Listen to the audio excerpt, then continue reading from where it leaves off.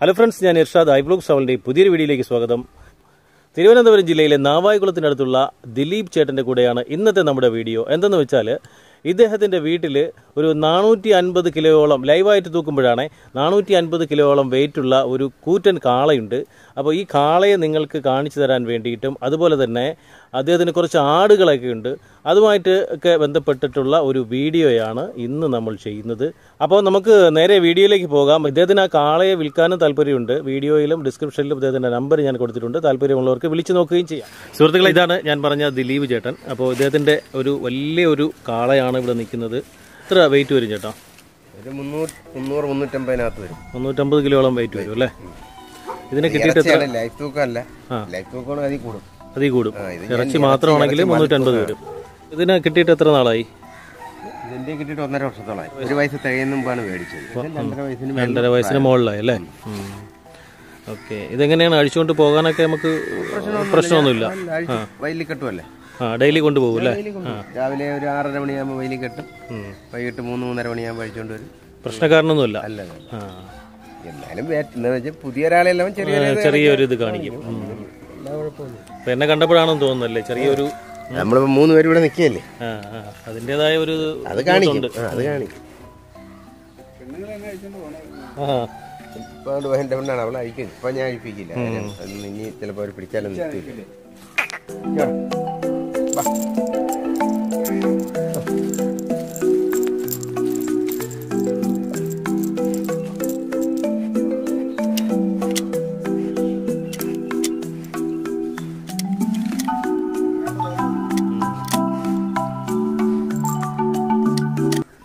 അപ്പൊ ഇതിന്റെ ബ്രീഡ് ഏതാണെന്ന് അറിയാമോ? ഇത് പിന്നെ സിന്ധി സിന്ധി. സിന്ധിയാണ് അല്ലേ? സിന്ധിയും എച്ച് എഫും കൂടെ ചേർന്ന്. എവിടെ നിന്നാ ഇതിനെ വാങ്ങിയത്? ഇത് ഞാൻ നിങ്ങളെ നാട്ടുകാർ സ്ഥലത്ത് തന്നെ കാട്ടിയെന്താ പോങ്ങനാട് അതിനും വേറെ റൂട്ടല്ലേ? ആഡിറ്റോറിയത്തിന്റെ അവിടെ നിന്ന് ഇടത്തോട്ട് റോഡ് കിടപ്പുണ്ട്. ഓ താഴോട്ടുള്ള. ആ അവിടെ ചെല്ലുമ്പോൾ ഒരു ക്ഷേത്രമുണ്ട്. ഞാൻ ക്ഷേത്രത്തിന്റെ കമ്പൗണ്ടിട്ടാണ് അന്ന് മേടിച്ച് ഞാൻ കയറ്റിക്കൊണ്ട് വണ്ടി കയറ്റിയത്. ഓ അത് ശരിയാ. ഇപ്പോഴും നിൽപ്പുണ്ട് ഇതിന്റെ തള്ളയും. ആണല്ലേ? ഇപ്പൊ പ്രസവിച്ച് രണ്ട് കാളക്കുട്ടി എന്ന് പറയുന്നത്. അപ്പോൾ നമ്മളെ നാട്ടിൽ നിന്ന് വന്നതാണ്. അല്ലേ? ഓക്കെ. സിന്ധി ഇനത്തിൽപ്പെട്ടതാണ് അല്ലേ? അതാണ് എന്റെ ഇതിനെ ബ്രീഡിങ്ങിനായിട്ട് ഉപയോഗിക്കുന്നുണ്ടോ? എന്റെ പശുക്കളൊക്കെ ബ്രീഡ് ചെയ്യും. പിന്നെ അത്യാവശ്യം അല്ലെങ്കിൽ നമ്മളെ സുഹൃത്തുക്കളെ ചില പശുക്കൾ ചെനയുന്നില്ല. കുത്തിവെച്ചാലേ കുത്തിവെച്ചാൽ ചെനയാത്ത പശുക്കളെ ഇവിടെ കൊണ്ടുവരും. കൊണ്ടുവരും. നമ്മൾ അതിനെ ക്രോസ് ചെയ്ത് വിടും ഇതിന്റെ ഇവിടെ ക്രോസ് ചെയ്ത് പ്രസവിച്ച കാളേണ്ട. ഞാൻ ഇപ്പൊ കഴിഞ്ഞ മാസമാണ് കൊടുത്തത്. ക്രിസ്മസിന്റെ രണ്ടു ദിവസം ആ ഇതിനെ വിലക്കാർ ആരെങ്കിലും ഒക്കെ വരുന്നുണ്ടോ? അപ്പോൾ വിലക്കാരൊക്കെ വരുന്നുണ്ട്. ഇപ്പൊ മാഹിന്ന് ഒരു പാർട്ടി ചോദിച്ചുകൊണ്ടിരിക്കുകയാണ് എനിക്ക് മാഹിയിൽ കൊണ്ടു കൊടുക്കണം. പക്ഷെ എനിക്ക് അതിന് സമയമില്ല. ഇനി അവരാരെങ്കിലും വരുമെങ്കിൽ കൊടുക്കും. അല്ലെങ്കിൽ ഞാൻ വേറെ ആരും വന്നാൽ ഞാൻ കൊടുക്കും. നമുക്ക് വില കിട്ടിയ ആർക്കായാലും വില കിട്ടിയാൽ കൊടുക്കാമല്ലോ. അതിന്റെ ഒരു ഹൈറ്റ് ഒന്ന് നോക്കാൻ ചേട്ടാ ഇച്ചിരി ഒന്ന് അടുത്തോട്ട് ഇരിക്കും. കുഴപ്പമില്ലല്ലോ? ആ, ആ, അങ്ങനെ കുഴപ്പമില്ല. നിൽക്കില്ല നമ്മൾ ക്യാമറ ഇതൊക്കെ ആയിട്ട് നിൽക്കുന്നുണ്ട് അങ്ങനെ നിൽക്കുന്നുണ്ട് അവൻ അത്ര ഏതാ വരുന്നില്ല. അതെ അതെ. തോട്ടിലെ കാലത്ത് കുളിപ്പിക്കാനാണെങ്കിൽ പിന്നെ കുഴപ്പമില്ല. നമ്മൾ വെള്ളം ഒഴിക്കുമ്പോഴേ നമ്മൾ ചെന്നല്ലേ കുളിപ്പിക്കുന്നത് ഇപ്പൊ നമ്മൾ വേറെ ആളും കൂടെ നിൽക്കുന്നു. പിന്നെ നമ്മൾ ഈ ക്യാമറയിലൊക്കെ കാണുമ്പോൾ പന്തലിന്റെ പരിപാടിയുണ്ട്. ഇവന്റ് മാനേജ്മെന്റിന്റെ പരിപാടിയുണ്ട്. ശരി. കല്യാണത്തിനൊക്കെ. കല്യാണത്തിന് പന്തലിടക്കം പാത്രം കൊടുപ്പ് എല്ലാ പരിപാടിയും ഉണ്ട്. വേറെ എന്താ പശുക്കളൊക്കെ ഉണ്ടോ? പശുക്കളുണ്ട്. ഇത് എരുമയാണോ ഇത് എരുമക്കുട്ടി കറക്കുന്നതാണോ? പശു? പശു അല്ല അതൊക്കെ ഗർഭിണി ഇതിനെ കറക്കുന്നതാണ്. ഇതിന്റെ കറവ ഇപ്പം നിർത്തി. എരുമ കറക്കുന്നു. കറക്കുന്നുണ്ടല്ലേ? എത്ര ലിറ്റർ പാൽ കിട്ടും ഇത്?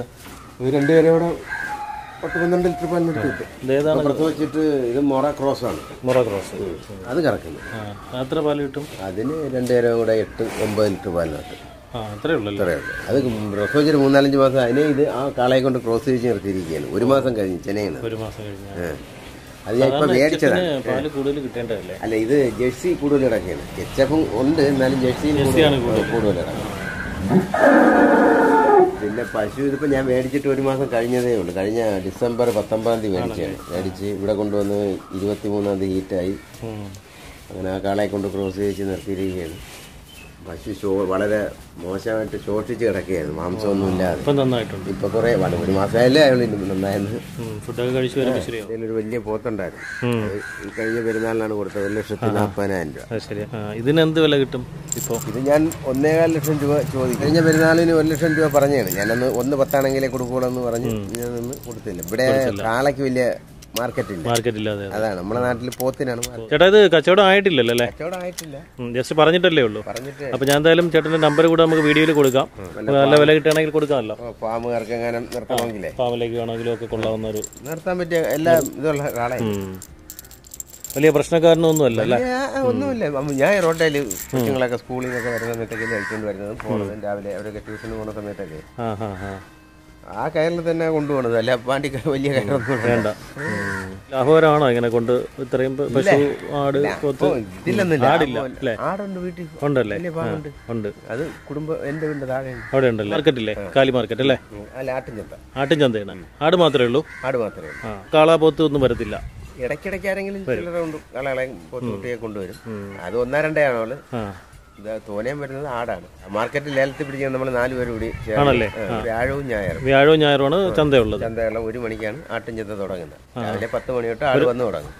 കറക്റ്റ് ഒരു മണിയാകുമ്പോൾ ചന്ത തുടങ്ങും. രാവിലെ പത്ത് ഒമ്പതര പത്ത് മണി തൊട്ട് ദൂരെ എന്നൊക്കെ പുനലൂര് അഞ്ചൽ കടയമംഗലം ഇങ്ങനെ അവിടെ നിന്നെല്ലാം ആളുകൾ വരും. എല്ലാം കൊണ്ടുവന്ന് അവിടെ കയറ്റിൽ കെട്ടി നിർത്തും. പന്ത്രണ്ട് അമ്പതൊക്കെ ആകുമ്പോൾ ചന്ത തുടങ്ങും. തീരുന്ന സമയം പറയാൻ ഒക്കില്ല. അത് വിറ്റ് തീരുന്നത് എന്ന സമയം. ചിലപ്പോൾ രണ്ടര മണിയാവും മൂന്ന് മണിക്ക് അടുത്താവും. എന്തായാലും കൂടുതലായിട്ട് വരുന്നുണ്ടോ? വരുന്നുണ്ട്. അപ്പൊ ഈ വരുന്നതെല്ലാം വിറ്റ് പോകുന്നുണ്ടോ? തമിഴ്നാട്ടിൽ നിന്ന് വണ്ടി വരുന്നുണ്ട് എടുക്കാൻ. ആണല്ലേ? എട്ട് പത്ത് വണ്ടിയോളം കാണും. തമിഴ്നാട്ടിൽ ഇവിടെ നിന്നെടുത്ത് തമിഴ്നാട്ടിൽ കൊണ്ടുപോകും? തമിഴ്നാട്ടിൽ കൊണ്ടു അവിടുത്തെ ആടിന്റെ ഇറച്ചി അത്ര ടേസ്റ്റ് ഇല്ലെന്നാണ് അവർ പറയുന്നത്. എനിക്കറിയത്തില്ല. പിന്നെ വളർത്താനായിട്ട് ഇവിടുത്തെ ആട്ടിനെ കൊണ്ടുപോകണുണ്ടോമാര് എല്ലാ ചന്തയും എട്ട് ഒമ്പത് പത്ത് വണ്ടിയാണ്. അപ്പൊ നല്ല വില കിട്ടുമല്ലോ അല്ലേ? ഇവിടെ കൊണ്ടുവരുന്നതിനൊക്കെ? പിന്നെ അല്ലാതെ ഇവിടുത്തെ നമ്മളെ മലയാളികളുണ്ട് ഇറച്ചിക്ക് കടക്കാർ കല്യാണപ്പാട്ടുകാർ എല്ലാം വരും. കൂടുതലായിട്ട് വരുന്ന വ്യാഴാഴ്ചയാണ് വ്യാഴാഴ്ച. ഞായറാഴ്ച ഇന്നിപ്പോ എങ്ങനെ ഉണ്ടായിരുന്നു എന്താ? നല്ല എന്തായിരുന്നു?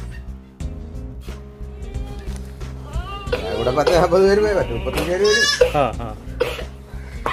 മുട്ടനാട് രണ്ടെണ്ണം ഉണ്ടല്ലേ മൂന്നെണ്ണം ആ.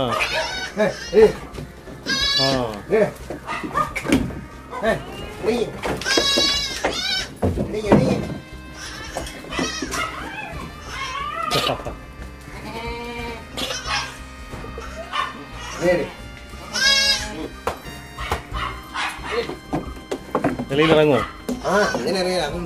പോവില്ല അവർ കളിയിൽ നാല് പേരിലൊക്കെ നിൽക്കുകയുള്ളൂ ഏതാ നമ്മളെ ഇതിന്റെ ബ്രീഡ് യമുനാപ്പേരി ക്രോസ് ഇത് പിന്നെ പഞ്ചാബീറ്റ് ആ ഇത് പഞ്ചാബീറ്റ് ഇതിന്റെ രണ്ടാമത്തെ കുട്ടിയാണ്. എന്റെ മൂത്ത കുട്ടിയാണ്. എല്ലാവരും ക്ലാവ് ഇപ്പോൾ ഊണ്ട അച്ഛനാണ്. ആ മറ്റേ അത് ക്രോസ് ആണ്.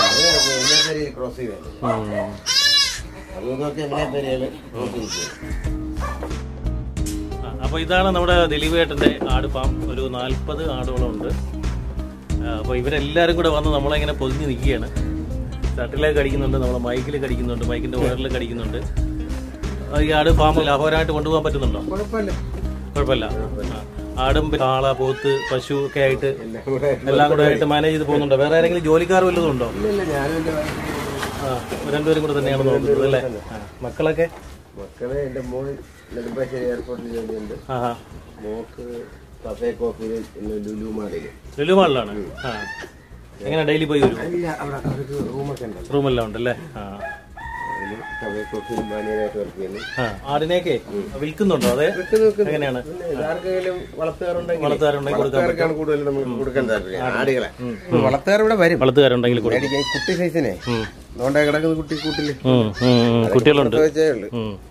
ഇതൊക്കെ ബ്രീഡിങ്ങിനായിട്ട് നിർത്തിയിരിക്കുന്നതാണോ? ജമുന പേരി എന്റെ ഒന്ന് രണ്ട് ആട്ടുകൾക്ക് മാത്രം. അല്ല ഇവിടെ ആട്ടിനെ ചെയ്യിക്കില്ല. ചെയ്യിക്കില്ല അല്ലേ? ചെയ്യില്ല കാര്യം അതിന് ഇവിടെ സ്ഥല സൗകര്യങ്ങളും സ്ഥലമില്ല ഓക്കെ അപ്പോൾ ചേട്ടന്റെ നമ്പറും കൂടെ ഞാൻ വീഡിയോയിൽ കൊടുത്തേക്കാം. ആടിനെയോ കാളയോ ഒക്കെ ആവശ്യമുള്ളവർ വിളിക്കും.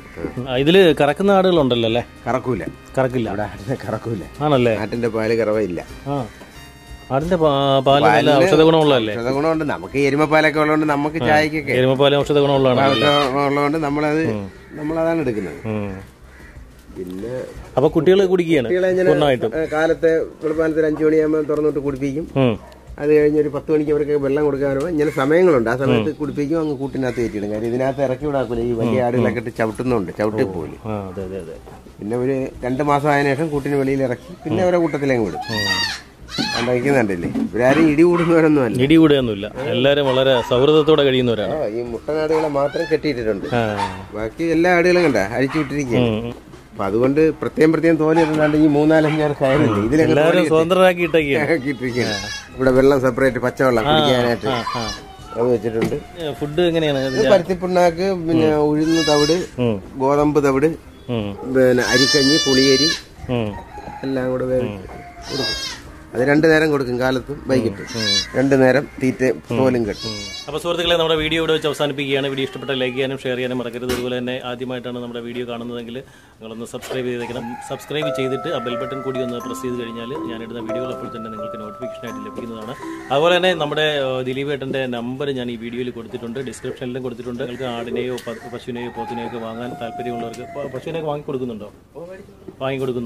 അപ്പോൾ പശുക്കളെയൊക്കെ വാങ്ങി കൊടുക്കുന്നുണ്ട്. അപ്പോൾ ഇവിടെ നമ്മൾ നേരത്തെ കണ്ട കാളയെ ആവശ്യമുള്ളൊരു പുള്ളിയെ വിളിച്ചാൽ മതി.